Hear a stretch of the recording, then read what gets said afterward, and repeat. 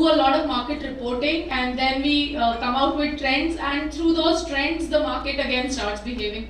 So we are like, you know, uh, we're the trend authority, we're the number one trend authority and uh, there is literally no competition in the market for WGSN as of today because we have a few bloggers who do trends but they are also taking a lot of inspiration from WGSN. At the same time, we have about uh, 8900 global clients but we don't say that, you know, everybody is actually having the same information. Everybody though has the same information.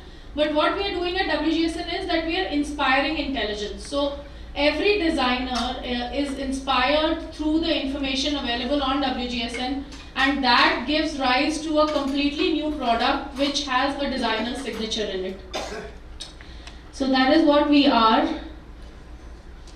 And uh, our method methodology, uh, I'm sorry I'm actually working with two presentations and two laptops here. So our methodology and data trends that we are actually seeing here is, uh, you know, I would just like to come on how we curate the trends for the market.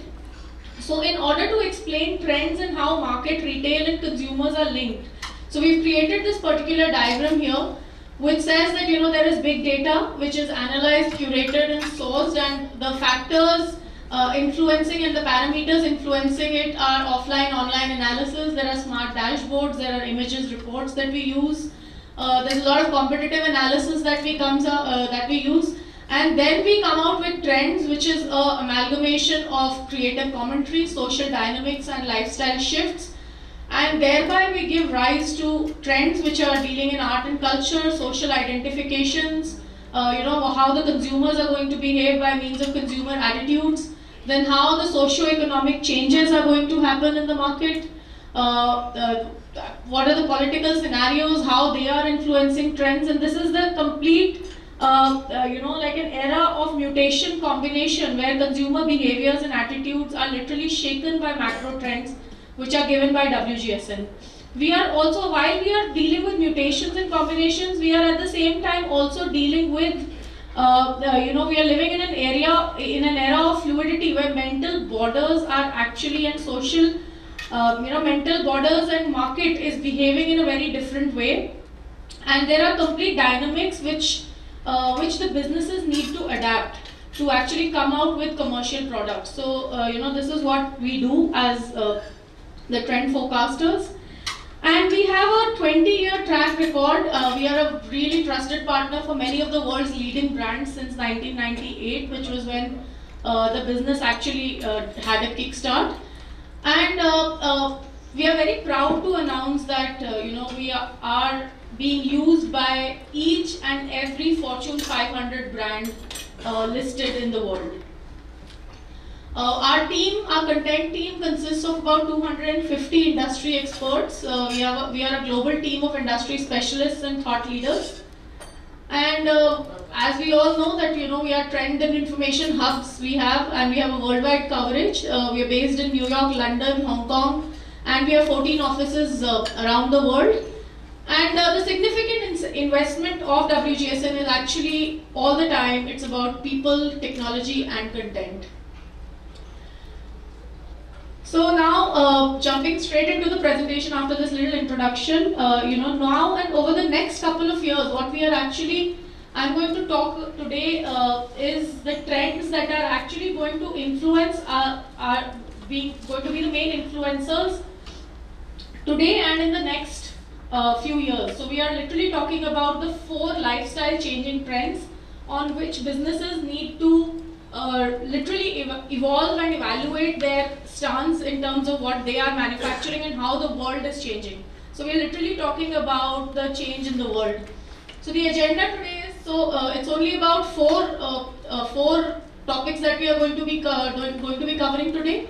However, how vast these topics are, like you know these two words being connected, how being connected is so vast that it is going to consume uh, the world in the next for the next few years altogether.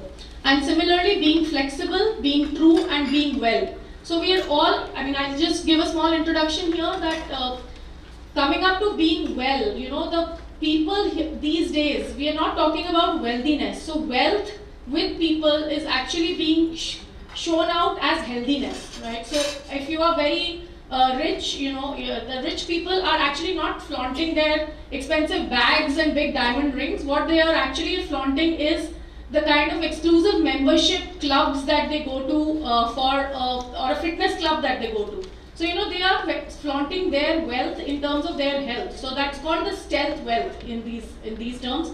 And how that is literally going to change the world is what we are going to see here.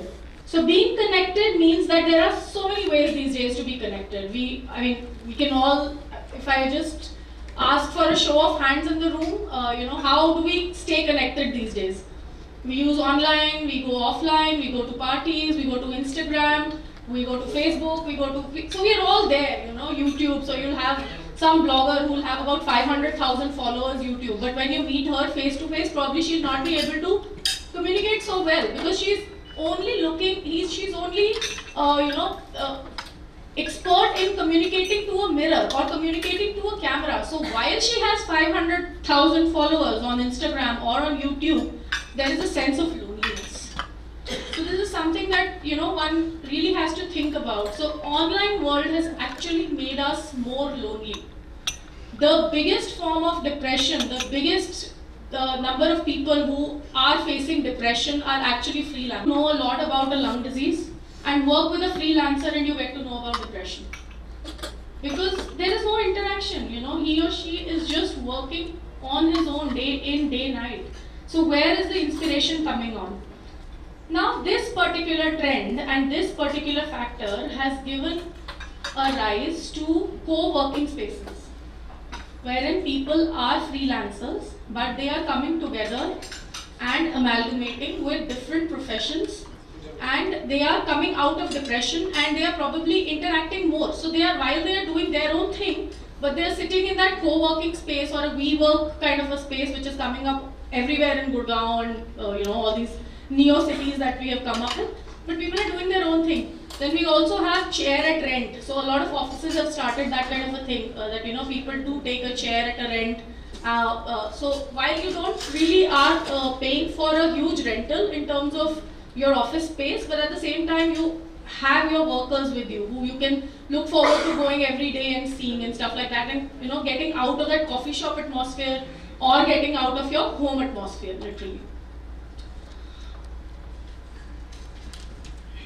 So, uh, so, so there was a report that was released in China, it was called the First Economy Report and it says that these kind of people these days, these millennials who are actually freelancers and you know who are working on their own, they're called the empty nest youth. So that is the term that is being used for them.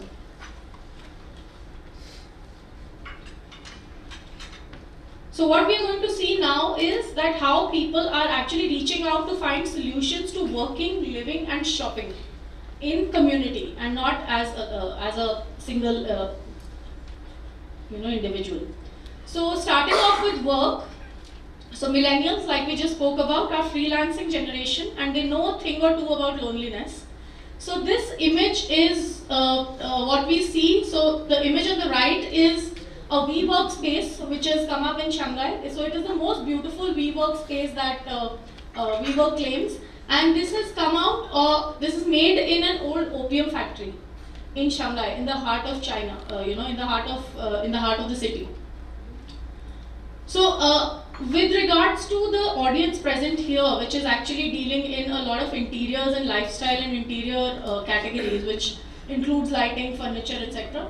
So this is what we are seeing that, you know, we, uh, these kind of spaces are coming in, which is having a lot of, uh, a lot of sort of, uh, you know, a different kind of categories to cater to, a different kind of audience to cater to. So this is what, this is how your commercial products and this is how your business is actually going to be affected in the times to come. So if you're actually doing commercial office furniture or lighting, so this is how, you know, so different factories may just, may just get converted into a, uh, into a uh, community working space kind of a thing or a community living kind of a thing.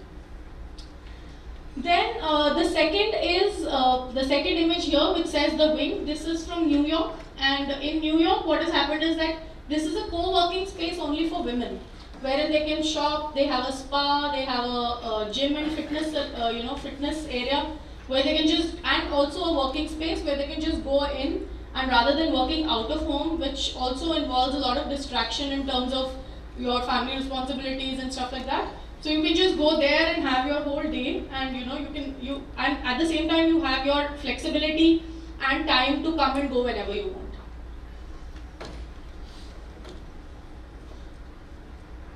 Then again, uh, this is uh, again a, a, company called Paper, and this is also in Shanghai.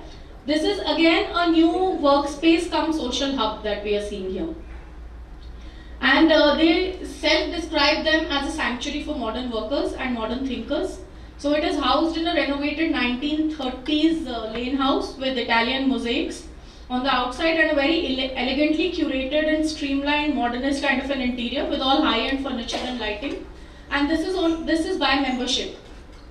So uh, you know members can retreat to the dial-in room, which has probably a vintage vinyl kind of a flooring, uh, which gives you that uh, that luxury feel, and or the Pelican room, wherein there is the decor is all Miami art decor.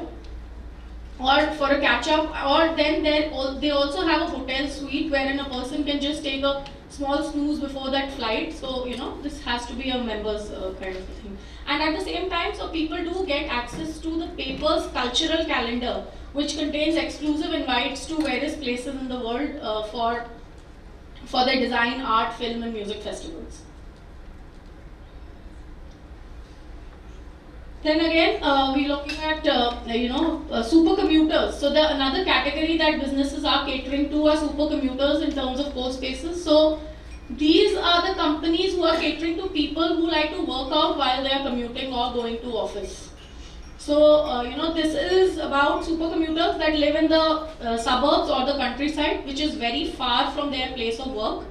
So what the companies are doing is that these are these new retail ventures which appeal to commuters and business travelers. So this company is called Bike Bus, which appeals to commuters who expect to work out while heading to and from work. So this is how companies are actually coming up and this is how a completely new set of business is emerging.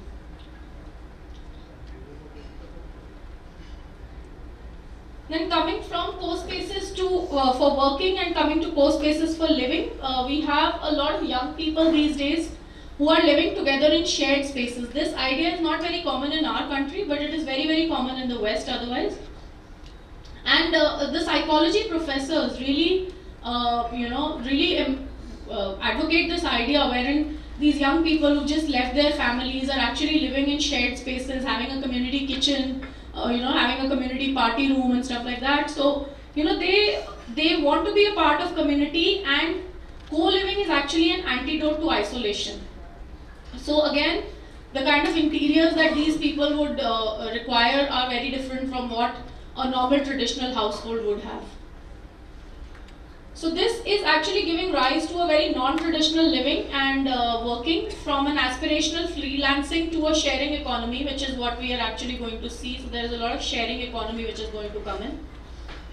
And this is already positively associated with creativity because you keep meeting people from different uh, walks of life and you know it really is giving a, a, a completely new perspective to your creativity. And this is also rooted in the rise of singles culture, uh, uh, you know, wherein, uh, you know, people are actually, so, uh, you know, in, by 1960s, the, there's a data, there's a complete report which says that in 1960s, about 76% of the world's population were ma was married while, in, while they were in their 25s, before their 25s. And the same is actually not true now. So now it is only 14% of the population who is married by the time they are 25. So then that kind of isolation and independence, that, that need of isolation and that need of independence is also increasing and which is again uh, becoming very, very successful parameter for co-living for work. Uh. So the rising cost of living in a particular area has made the middle class youth to actually look out towards more cheaper options of living. So they, you know, they, they would want to stay in the hub of the uh, hub of the city where all the party places are there, where all they can go out, they, it's easier to commute. But at the same time, they would also want the cheap, the uh, the price of the property and the rentals to be a little cheap. So that is also a factor which is giving rise to co-living. Now this is also uh, this is in, this is again an idea. This idea is from Asia. So this is this image is we've taken from somewhere in China where U Plus, uh, a Chinese operator, uh, they have about 25 branches which include spaces in cities like Guangzhou. Uh, in Singapore, a new startup called Hmlet has raised fresh funding of US dollars 1.5 million in their efforts to build up co-living spaces. And uh, you know, this this is an idea which is in a very budding stage in the world, and it is just going to uh, keep increasing in the times to come.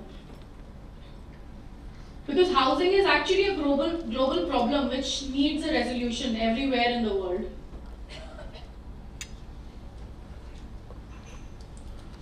Generations that share similar mindsets, they are literally shattering stereotypes that we see in many ways. In many ways, boomers are the new millennials, and uh, many of the trends that are ascribed to millennials are actually better fits for their parents. So, uh, you know, to understand both changes of the workforce and changing attitudes toward work, uh, the companies are not really watching young people. What they are watching is the older generation, like in WhatsApp. So, let's take an example of WhatsApp. There is a manifold increase as per the company report on people who are using WhatsApp. So, they are people 50 plus is the increasing consumer. This is where they see the growth.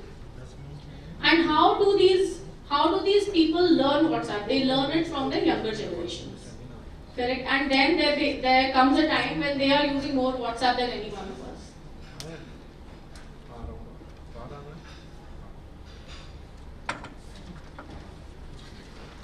Then our next long-term trend is being flexible and with generation rent in place for millennials and Gen Zs and boomers and Gen X. Uh, this is a little pessimistic in terms of retail where, where we are saying that the trend of uh, buying more is going to go down. Uh, but there is flexibility as we are going to see in a few in a video also here uh, a little bit from now. So what uh, what we mean by being flexible and by uh, micro living is that so about micro living. So what people are actually doing is they are embracing smaller living spaces. So US, which was a land of big houses, for the first time since 2009, the average size of the new house built in 2016 uh, has gone down to 206, uh, 2,600 square feet only because that is what is very very important in a house. I mean, every unit these days is actually coming with storage space, and that is how uh, these pieces of furniture are actually being sold. So uh, yeah, so this is again like how uh, you know companies are actually gelling technology with the furniture, which actually makes it more flexible. You see this unit, this is actually a study table, a storage unit, an umbrella hanger, a jacket hanger, you know, everything all in one. U-Pods, which is uh, which is a tube house, and uh, this this is a uh, this is again a, a, unit which is available in Hong Kong, uh, and you know this is conceived by James Law, and it is based on the principle of cybertecture, wherein you have everything required for your minimal living in one O-pod kind of a thing. So these are made out of the circular waste water pipes. So they've actually refurbished it and then uh, made it out of this. And the entire idea of micro living is inspired from the spaceships. You know, like people go into those spaceships and they hardly carry like you know one change with them and they are in the space for you know months and months together or years and year, years and years together so all these kind all this micro living concept has actually come out from that uh, perspective then we have extensions and renovations. Uh, consumers these days are actually looking for homes that can grow and shrink as needed, as we just saw from the Audi systems. So millennials have been on the move for many, many years and they are constantly having to change apartments. So, you know, it is very important that we have, I mean, we always, as people also, we try to look at multifunctional furniture, you know, which can become a bench, which can become a dining table, which can also become a sitting space and stuff. So also, uh, you know, we're looking at homes that can be extended as your family or your finances grow. This is what the buyers want. So there has to be, I mean, you you have one addition in your family, you're not going to go, go out and buy another house. So you would like, you would rather want to uh, uh, you know, sort of have a house which has a little bit of an extension, whether it is uh, permanent or temporary, so that it can be used as a uh, when the family expands. So this is what people are looking at, and this is one lifestyle trend that we are also talking about. And now we take a, a look at our third major lifestyle trend, which is being true. What do we mean by being true? Now, in a world which is struggling with truth, brands need to renew their focus on what they do best. They really need to go down to their DNA, what they're doing with their values and their and what their customer values are and how can they correlate with them? How can they relate with their customer? So we're talking about transparent supply chains, uh, to rigorous sustainability policies, and to brilliantly designed and curated essentials. So importantly, what brands are doing is that they are literally paring down choices in an effort to combat the choice fatigue. Like we just said, people are buying into buying less. So over the years, there was a vast selection of choices, um, uh, you know, which, which was there on the internet, which was really driving consumerism, uh, whether it was online or offline. While these days, I am not sure if you guys, if you all can relate to this um, uh, NAS daily video which comes on Facebook and it says that you literally need the stuff that you can carry over a mountain. So, in, I mean, a person can literally live out of a bag. So, if you can't carry it on a mountain, you don't need it. You know, so that is what this is the concept of just the essentials, which is going to drive our years to come. So, some really radical thought. I mean, if you tell our uh, uh, a generation, a generation or two before us, so how do you live without your ornaments and how do you live without your kitchen stuff and you know, but the fact is that if we can't take it over the mountain, we don't need it. We literally don't need it.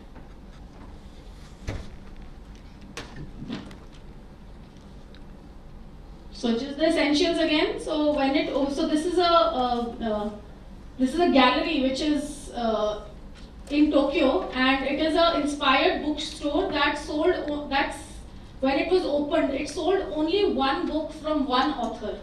They only had these limited editions, and it was really far ahead of its time as compared to today. But now retailers around the world are actually embracing this starker retail concept. Boutiques are offering smaller assortments.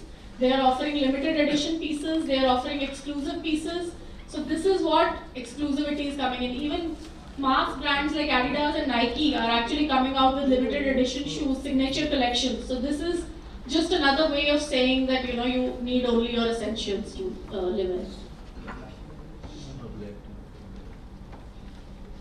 Again, being true is about making better choices. As we just said, uh, though it may seem, like I said, it may seem really anti-retail, but new boutiques are well specializing in teaching consumers about sustainability and its virtues in the long run.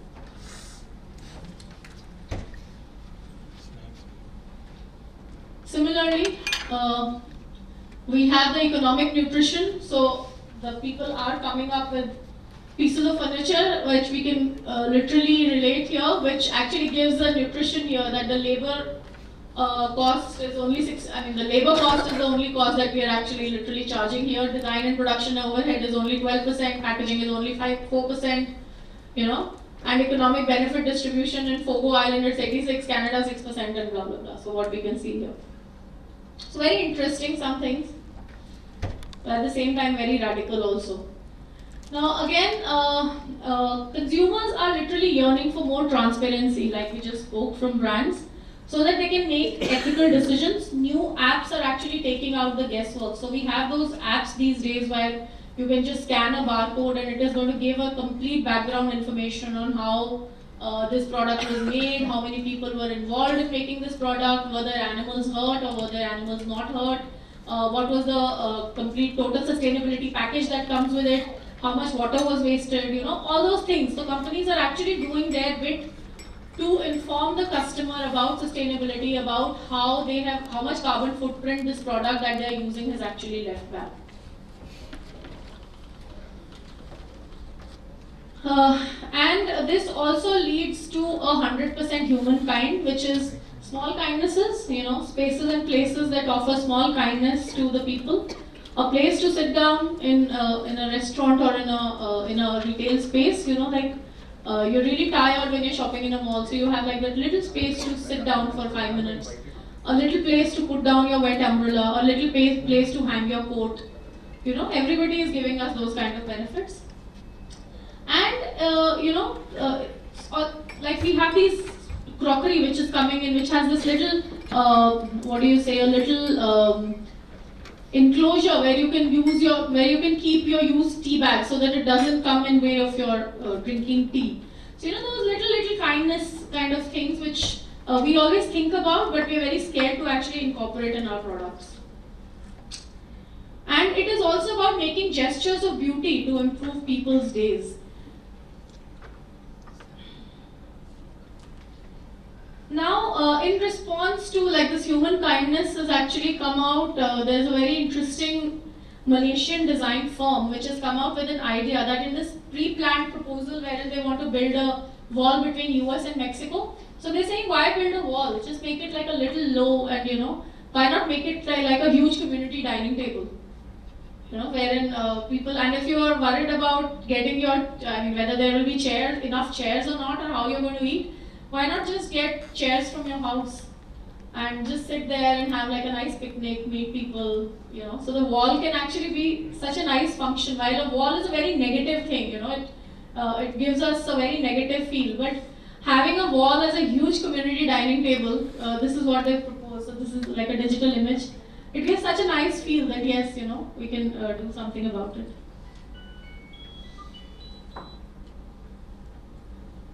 Then, uh, and now let's take a look at the last trend, which is being well, and which is by far is what we can actually relate to, and that is why I kept it at the end of my presentation. So wellness is something that we are actually seeing these days. I mean, the kind of awareness about wellness that is happening is incredible. Every third person we know is running a marathon these days. And there was a time five years ago when people were scared of running. I mean, you know, running was considered a really, really high intensity exercise. And these days, everybody, I, every third person I know is running a half marathon or a full marathon. And you know, I mean, it's difficult. And personally, it is difficult, but that is what is happening here. So again, like we said, it is a major lifestyle factor. And in our wellness section on lifestyle and interiors, we are seeing its influence in sports, food, beauty, and of course living spaces. So we are importantly seeing much more wellness communities taking shape uh, everywhere on Instagram, on Facebook, on WeChat. We are having these uh, Noom and you know uh, Healthify, these kind of pages that are coming up. And uh, you know people are actually be good to the bad. So what there's this movement which is going on, which is hashtag be good to the bad. So they are actually working out and they are meeting post workout for a drink or a dinner or a party. So those are called post workout get together. And then there are in India we have these yoga cafes. We have the yoga brunch clubs wherein people uh, go work out and then they have like this healthy brunch, which is all either raw food that they are eating or it is completely organic. Organic, uh, we all know is uh, is a big big big revolution that is happening. Then we have um, the safe home. The safe home is about uh, being well at home. Home is where we feel safe and we feel protected from all the craziness of the outside world. And what we are wanting to bring, uh, and we are actually wanting to bring this sense of security to our public spaces also. You know, so home is not just seen as a place anymore. It is actually being seen as a feeling. So, you know, like we always say, this feels at home. So this is literally going to make sense. So your offices are also going to have like those nice comfortable couches where you can probably lie down and work or maybe have like a 10 minute nap which is like your own room, you're not going to be judged for that. So those are like my office also feels like home. So you know companies and corporates are literally going out of the way, out of their way to make individuals working in their premises uh, beneficial and uh, fruitful and so that they have something to go back to when they go back home. Then we have the natural home. Uh, so wellness is also about things in your house, which has the Delhi air quality. It, it is again going down. And it is again being said that your inside air is much worse than your outside air. So what they are doing is that it is what we are saying here is that it is not only about things in your home that go beyond furniture. It is harnessing the power of microbes. So there are some microbes which are the good microbes which uh, you know can only come in when you open your windows. So in this room, like when we say that you know uh, the aircon virus. So there is an air conditioning virus because if one person in an office gets a flu, rest assured everybody in that office is going to get flu in the next one month because all the spaces are closed, there is no fresh air coming in, the virus is just circulating in, inside. So what we are saying is that microbes are good and the bad. So you open the window, the good microbes, if there are some bad microbes coming in, some dust coming in, but at the same time there are some good microbes also coming in which are and bad microbes going out. So it has been proved that offices which have open windows have healthier employees. So this is a survey that has been done and it is very very categorically proved. Back to the spiritual side of the house, crystals are a focus for the uh, crystals are uh, have a focus of for uh, you know for healing properties and also as decorative accessories. So we have those salt lamps, uh, you know, which are actually flowing in positive energy if you put it in some corner of your house. So that is about the emotional home. And uh, you know, a well well home is also one that addresses human emotion through materials, colors, and more. So consumers are becoming more aware of psychological power of color and materials and how it is actually affecting your mood. So now that we are actually turning to color as an official mood booster, you know, you always say that you're, uh, if you want to feel calm, you should have more blues in your house. If you are very energetic, you should have more reds in your house. So that is uh, about it. Then again, coming to the emotional home, there is proximity proximity to natural materials. Like when it rains, you know, you want to open out all your windows. You want to get in that uh, smell of the of the soil, you know, to come in to penetrate in your houses. So that is the proximity to natural material. It uh, and science has actually proven that what we've always known intu intuitively that nature does good things to the human brain. It makes us more healthier, it makes us more happier, and it makes us more smarter.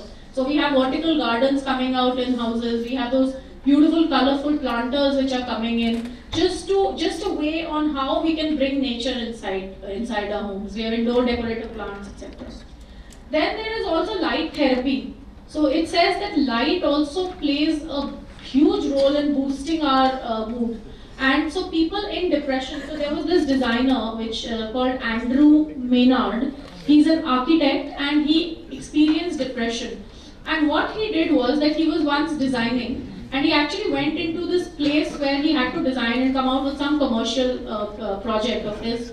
And what he did was like, and that place was probably very lighted and stuff like that. If that's what his uh, this example says.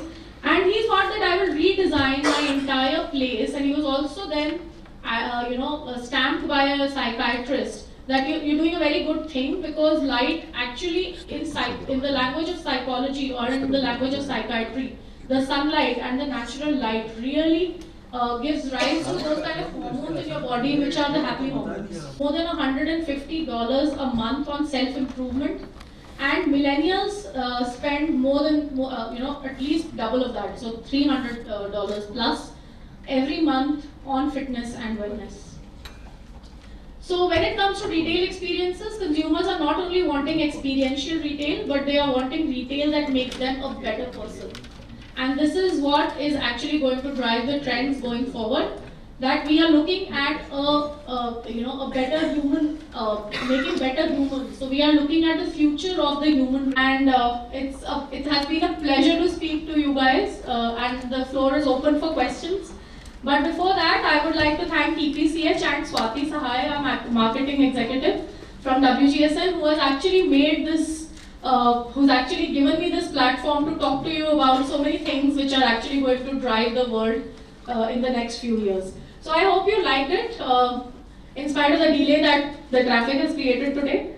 But uh, yeah, so I'm open and ready for questions. Okay, we'll just have uh, one question because we are uh, running short of time. So just one question from any one of you.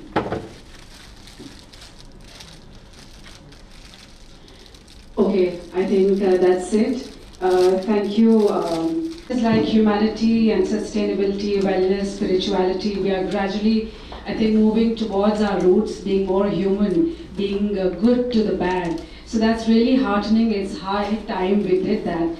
And we are very um, glad to know that the trends show that. Thank you so much. On behalf of EPCH, uh, we'd like to present a memento to Urvashi. I request Shri O.P. Prahladka ji, Chairman of EPCH.